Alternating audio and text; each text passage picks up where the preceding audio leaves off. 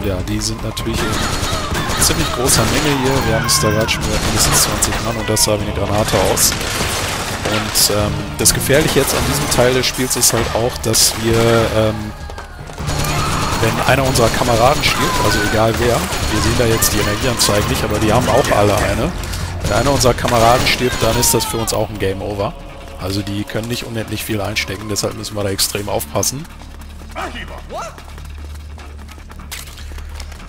Und ja, wir haben da gerade auch so einiges erfahren, was äh, Merrills Kameraden angeht. Und äh, ja, halt auch sehr interessant, dass zwei von denen, einer von denen heißt äh, Jonathan und einer Ed. Und der Ed sieht natürlich auch sehr aus wie sehr nach Ed Brown aus Police Notes aus. Und dass der andere Jonathan heißt, ist natürlich auch kein Zufall. Für alle, die Police Notes gespielt haben oder das kennen. Da sind noch mehr Scheiße. So. Bei diesen Frogs oder bei diesen Floschen ist halt auch gefährlich, dass sie sich so am Wände haften können. Alter, geh mir mal aus dem Weg, verdammte Axt. Mann, sag mal, macht der das extra?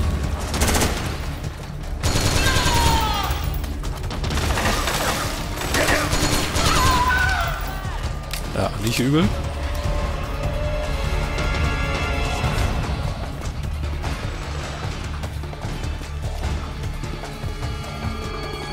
Besser weiter. Wir dürfen die nicht zu lange rumstehen lassen, wenn da andere zu denen hinkommen. Das kann gut sein, dass die da eine große Menge an Schaden einstecken. Und wir natürlich auch. Äh, nee, das ist nicht gut. Nehmen wir mal unsere Schrotflinte.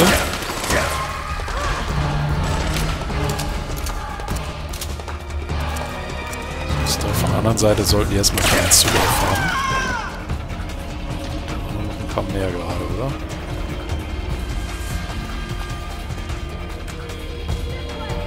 Keine Ahnung. Ja, okay, verziehen wir uns hier.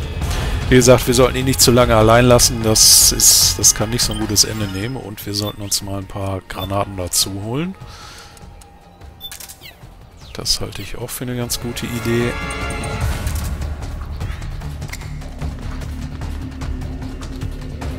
So. Ja.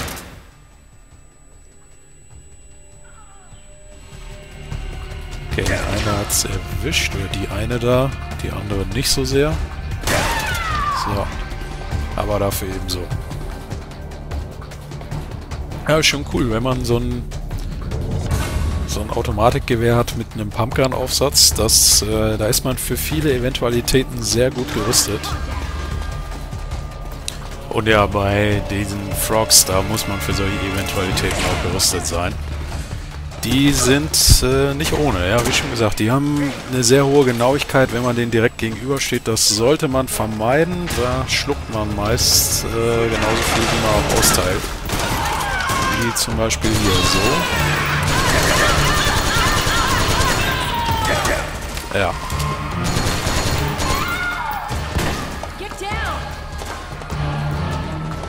Die sagt gerade zu uns, runter mit dir.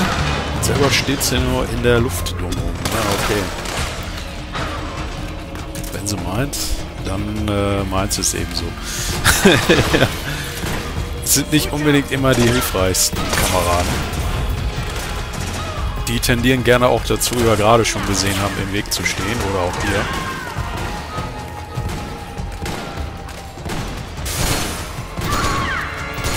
Jetzt haben wir eine halbwegs gute Position. Kopf erwischen können, ohne zu viel Schaden zu nehmen.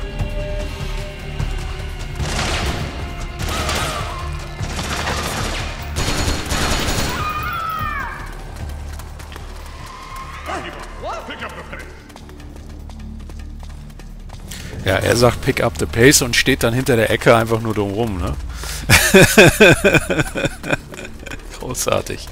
Ja, ähm, eine kleine Sache zu diesen Frogs äh, übrigens noch. Ihr, wenn wir die töten, ihr seht, ähm, dass die ja so ein bisschen zu einer Art Staubsilhouette verfallen. Ähm, das liegt daran, dass wenn die sterben, wenn ihre, wenn das äh, die Herzmaschine an die Nanomaschinen kein Lebenszeichen mehr überträgt, dass die so eine Art Phosphorbombe in sich tragen. Ähnlich wie die Technologie, die die Cobras verwenden, oder was heißt Technologie, Ähm, ähnlich äh, wie das bei den Cobras zum Beispiel der Fall war, wenn die gestorben sind, die sind ja explodiert, weil die eine Mikrobombe in sich getragen haben, weil eben niemand wollte, dass, nie, dass deren Leichen untersucht wird. Aber eine andere ist eine andere Sache. Ach, scheiße. Ah, okay. Genau das meinte ich.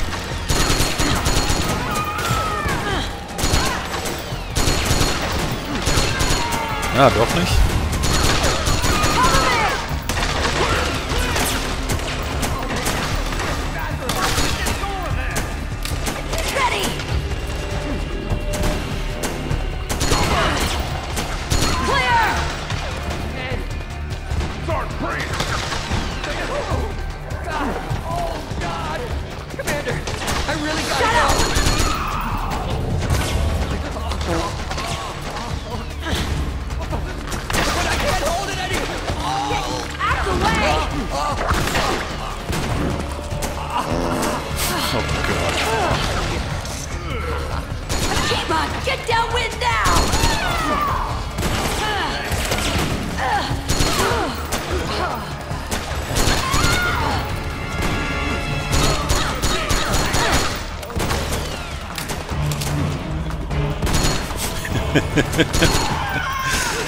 ja, da fragt man sich halt nur noch, äh, was das Ganze soll, aber naja, es ist halt der gute Johnny, der in äh, vielen Metal Gear schon einen Auftritt hatte.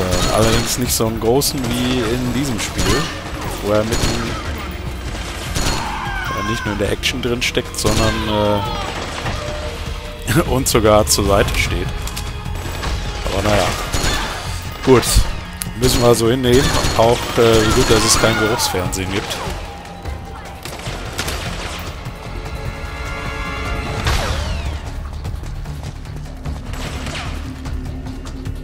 Und in der Zwischenzeit konnten wir unsere gesamte Lebensenergie wieder aufnehmen. Komm, halt auch mal die Fresse, ey. Stehst mir im Sichtfeld rum. Das muss er gerade sagen da mit seiner Scheiße, die er von der Etage weiter oben abgezogen hat. Naja, egal, wir sehen zu, dass wir von hier verschwinden. Ich lasse die nur halt hier ungern alleine stehen und der hat jetzt einen riesigen Fleck hinten auf seiner Hose und ist gerade erschlagen worden und geblendet worden. Den müssen wir mal schnell wieder aufwecken. Ja, habe ich schon erledigt. Ach komm, Meryl.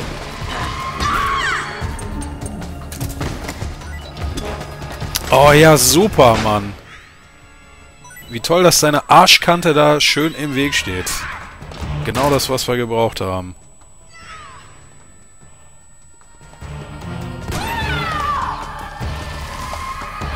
Noch mehr? Da sind doch noch mehr, oder?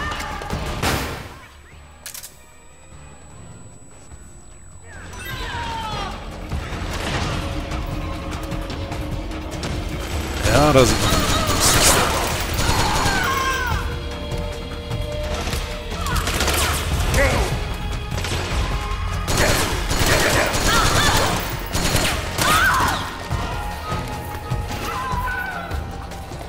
Shit. Lebt.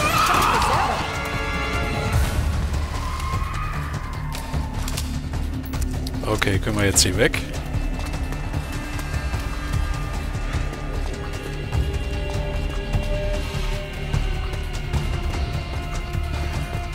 Ich hoffe, die können diese Bombe da entschärfen.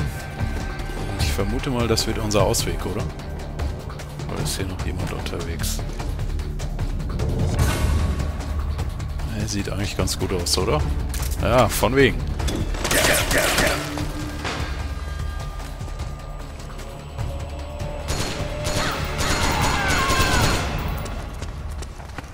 Okay, ich glaube, jetzt haben wir es aber für diesen Abschnitt, oder?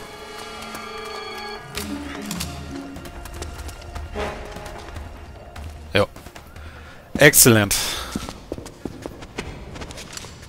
Ganz ordentlich.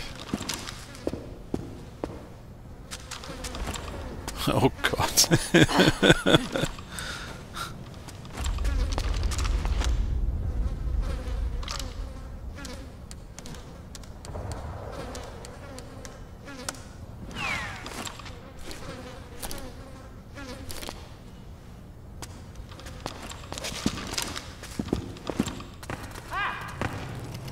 Akima, get over here! Ja, ist für den Großen bestimmt immer super, dass man einen Team hat, auf dem man rumhacken kann, ne? Da ist man selber nicht gleich dran. Egal. Darum geht's ja jetzt auch nicht. Äh, jetzt geht's ums Überleben erstmal. Auch wenn die schon einen Heidenjob machen, uns das schwieriger zu machen, als es eigentlich sein sollte. Oh je.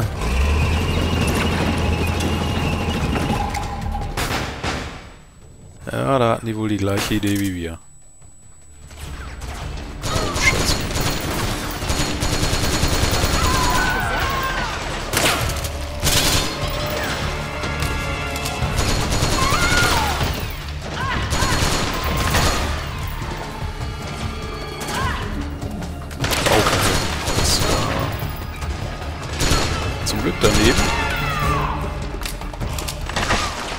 Und ja, man kann übrigens auch das ganze Spiel in so einer First-Person-Perspektive spielen.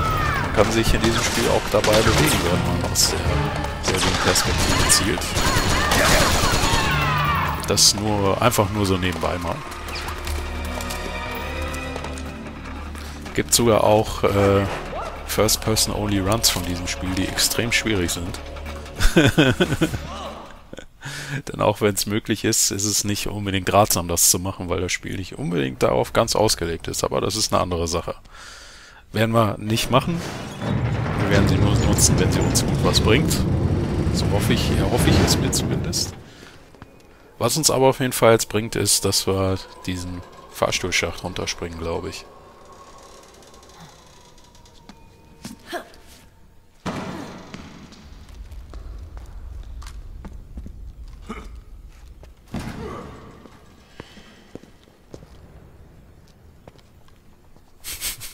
Already!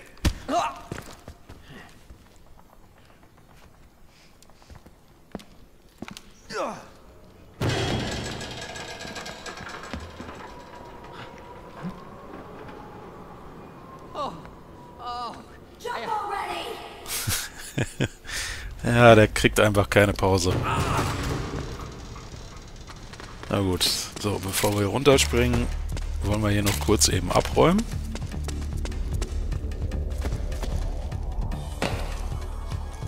Dürften wir auch gleich raus aus dem Gebäude sein, oder?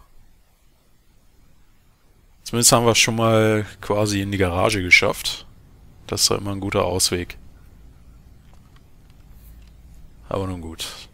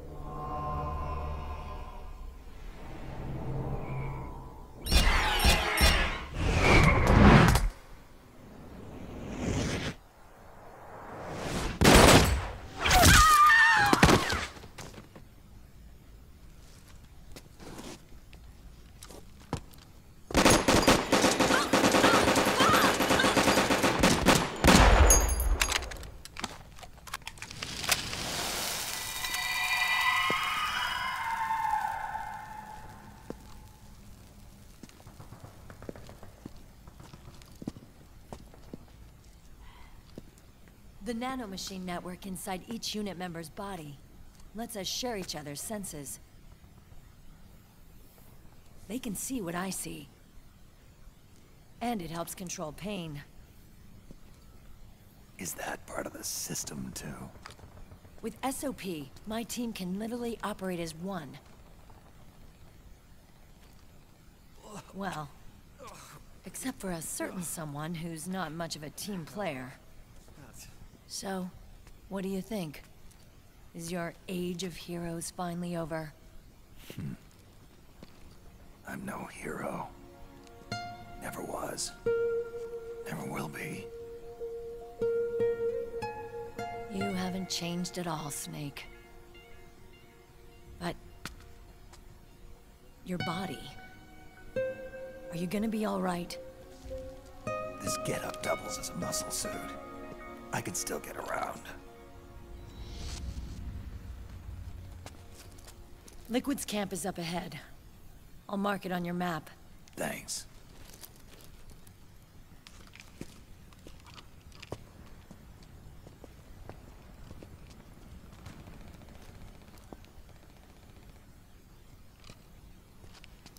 Akiba!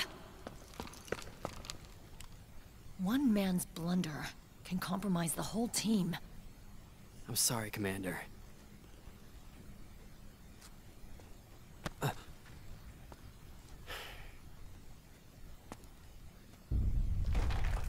Be careful, Snake.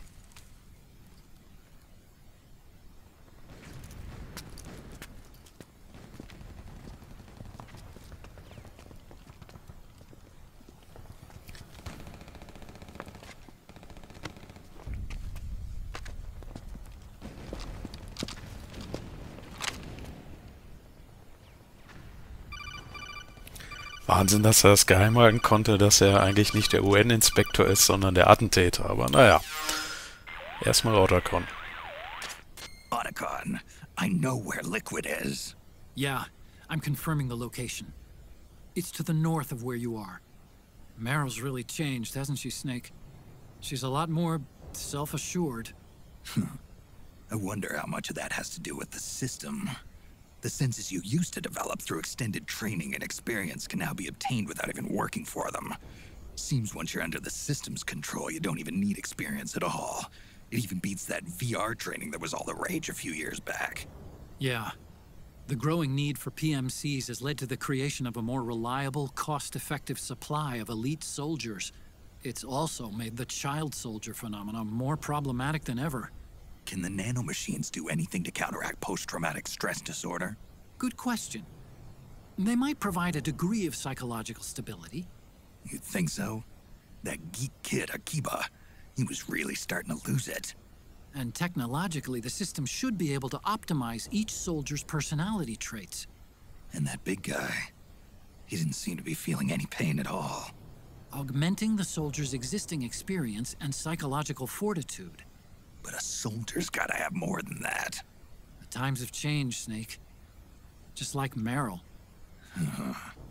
Snake, hurry to the PMC camp. Based on what Meryl told us, Liquid should be there. Okay, ja. Die scheinen sehr, sehr, sehr große Fortschritte durch dieses äh, System Sons of the Patriots gemacht zu haben. Okay, time to head for the surface. Vor allen Dingen, da sie dadurch sehr gut als Einheit agieren, wie wir gerade gesehen haben. Jo, ich weiß.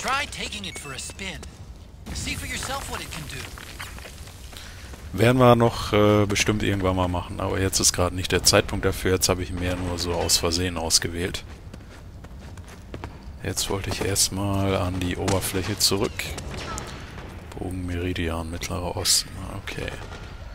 Scheinen wir auch direkt wieder mitten in ein Schlachtgebiet gekommen zu sein. Ähm, ja, also dieses äh, Sons of the Patriots System, das scheint im Kampf ja rein nur Vorteile zu bringen. Jetzt ist die Frage, warum dieser Akiba da so stark aus der Reihe tanzt. Vielleicht ist er so einer der wenigen Ausnahmen, wo dieses System auch keine Wirkung zeigt oder eine gegenteilige. Ist die Frage, warum ist der in diesem Team dann überhaupt mit drin? Er scheint ja doch eine sehr äh, hochrangige und gut ausgebildete Spezialeinheit zu sein. Aber naja, vielleicht werden wir das irgendwann noch erfahren. Jetzt erstmal gilt es für uns darum, äh, Liquids Cap zu erreichen und das am besten noch ohne gesehen zu werden. Was hier nicht so ganz einfach sein dürfte.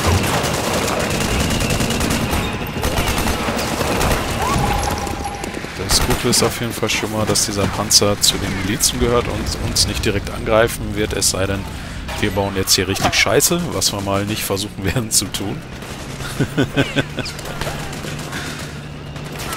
ja, den Panzer können wir so ein bisschen als Deckung nutzen. Sollten möglichst auch nicht zulassen, dass der auseinandergepflückt wird. Denn soweit ich mich noch hier erinnere... Oh Gott.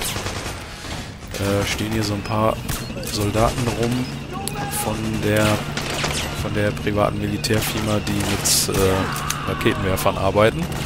Da verträgt er nicht ganz so viele von, bis der äh,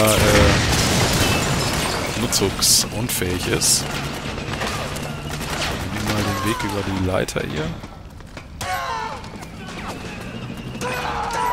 Dass wir hier nicht den Soldaten direkt in die Arme laufen. Zumindest nicht von den PMCs. Aber ich glaube nicht, dass das nicht der Fall ist.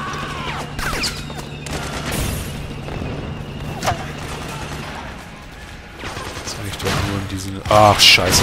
Ja, okay, das... Das wollte ich eigentlich verhindern. Dass der Soldat, der da oben drin steht, dass der mit seiner Bazooka auf den Panzer schießt. Ja, und wir stehen hier genau im falschen Bogen.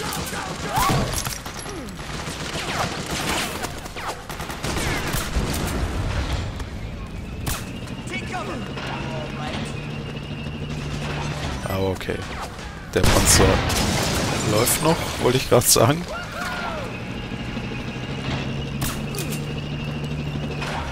Und die Milizen kommen voran.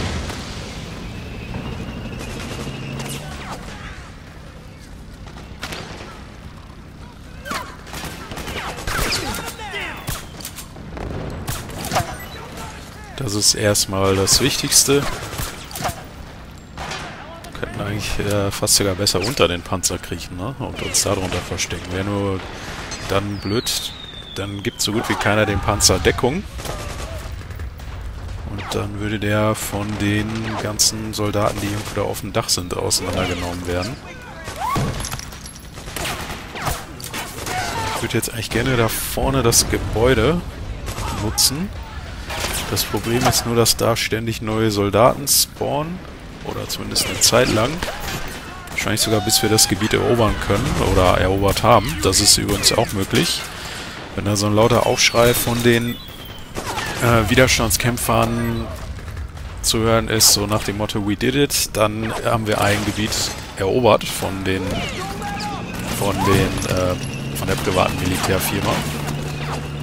Und äh, ja, dann laufen in dem Gebiet auch keine herum. Und ihr seht jetzt auch mittlerweile, der Name von den Milizen ist auf blau. Das heißt, die sind uns freundlich gesinnt und tauschen auch Items zum Beispiel mit uns.